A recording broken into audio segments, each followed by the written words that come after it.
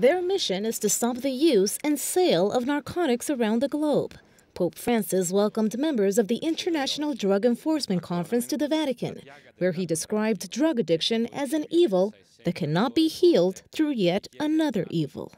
La droga non si vince con la droga.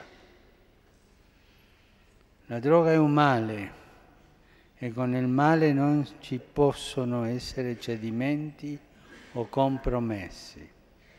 To say no to drugs, said the Pope, one must first say yes to life, love, education, and employment. He then added that legalizing recreational drugs to combat drug addiction and drug trafficking is a counterproductive social experiment. Le legalizzazioni delle cosiddette droghe leggere, anche parziali, oltre ad essere quantomeno discutibili sul piano legislativo, non producono gli effetti che si erano prefisse.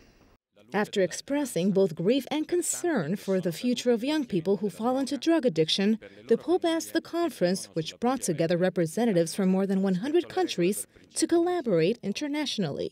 Coordinare le politiche antidroga, condividere le relative informazioni e sviluppare una strategia operativa al contrasto del.